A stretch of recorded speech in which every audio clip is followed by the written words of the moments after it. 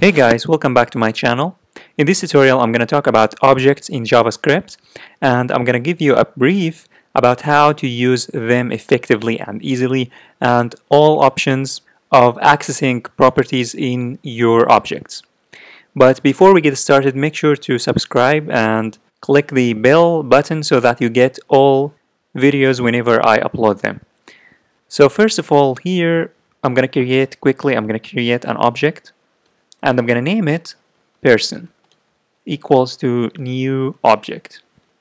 And this is how we can create an object in JavaScript, just the name of the variable and then equals to new object. And then you can add properties to this object.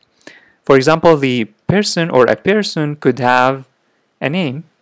So here person equals to most and then and also person job equals to software developer and then person dot salary equals to I don't know maybe five thousand dollars per month I don't know. Hopefully fifty thousand dollars. And now what I did here is that I added these properties to that object which means that if I try now to print the object console.log and then print the complete object, the person object. As you can see here, I'm going to get the complete object with the key value pairs here, the name and then the job and the value and then the salary and the value. This is the first way to add properties to an object. The other way is using the index notation which is just using square brackets and then add in a string in a quotes the property name, the name of the pro property, and then equals to the value.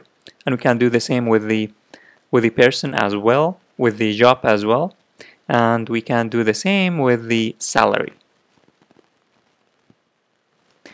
Now if I save and run again, as you can see, I'm going to get the same result because this is the other way of adding properties to an object. Now, in order to access a specific property of an object, all you need to do is to use the dot notation dot name, and then, as you can see, I'm going to get my name here, and then person, and then the index name, I'm going to get the same exact result. So this was just a brief tutorial about objects and how to create an object and access their uh, properties. If you like this video, share, like, and subscribe. And also check the description below because I have awesome stuff down there, down below. And I'll see you later.